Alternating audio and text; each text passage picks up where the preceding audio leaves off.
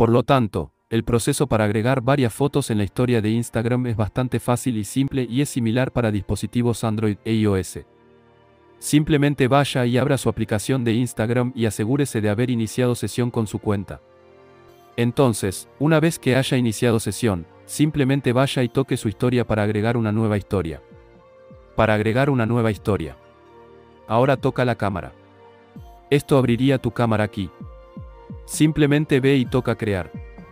Ese es el icono A en el centro izquierdo para que pueda ver el icono A.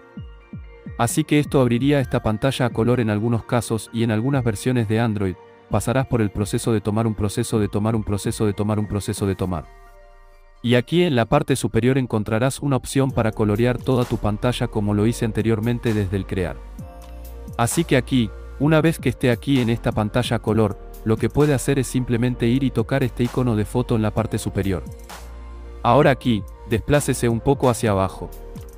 Aquí puedes ver este icono de foto. Para que puedas ver el icono de la foto. Toca este. Ahora selecciona cualquier foto. Ahora puedes hacerlo más pequeño o más grande. Puedes mover eso también. Ahora selecciona otra foto.